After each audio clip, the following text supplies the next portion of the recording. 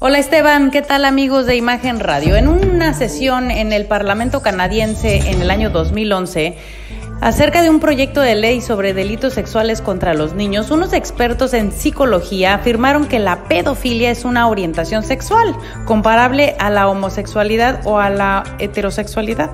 El proyecto de ley era para enmendar el Código Criminal que buscaba aumentar o imponer una normativa de sentencias o castigos mínimos por crímenes particulares a los que atacan sexualmente a niños. La discusión parlamentaria se centró en la normativa de encarcelamiento mínimo y cómo los atacantes responden al tratamiento. Hubo expertos que dijeron que quienes eran acusados por abuso sexual de menores normalmente no dejaban de hacerlo a pesar de tener terapia y de haber sido encarcelados, argumentando que estas personas están aferrándose a lo que es equivalente a una orientación sexual, así como otro tipo de individuos puede estar aferrándose a la heterosexualidad o inclusive a la homosexualidad. Y un miembro del Parlamento, un diputado, expresó estar muy preocupado pues el supuesto experto estaba queriendo hacer pensar a los demás que la pedofilia es una orientación sexual y que no es posible cambiarla aunque quienes la tienen son capaces de abstenerse. Por su parte, este mismo diputado expresó, en mi opinión, la sociedad y nadie en esta comisión aceptará la pedofilia, aunque sea una orientación sexual.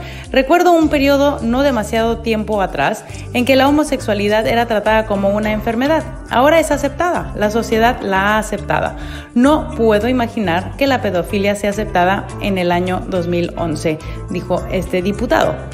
De hecho, en el DCM5 es el Manual de Trastornos Mentales. En un momento dado, cuando salió publicado, se quiso incluir la pedofilia como orientación sexual y después se retractaron y mejor lo llamaron desorden parafílico. El hecho de lo que estoy comentando hoy es que aunque suene imposible es algo que se quiere normalizar. Es un poco como la ventana de Overton que ya hemos platicado en este espacio. Una marca de ropa muy famosa hizo su más reciente campaña hoy en el siglo XXI, en este 2022, justamente con alusiones sexuales dirigidas a niños. Fue un escándalo hasta que se hizo ver que era escandaloso, pero los líderes de opinión se tardaron en opinar. Hubo un cierto silencio como midiendo a la sociedad esperando que se dejara pasar por alto dicha atrocidad. Es importante estar pendientes de este asunto porque como familias somos quienes estamos obligados a enterarnos y a prepararnos para explicar y defender a nuestros hijos ante los constantes ataques a nuestra intimidad. Demos seguimiento, Esteban, amigos de Imagen Radio, a los comentarios en redes sociales y medios de comunicación para entender lo que se avecina y poder contrarrestarlo.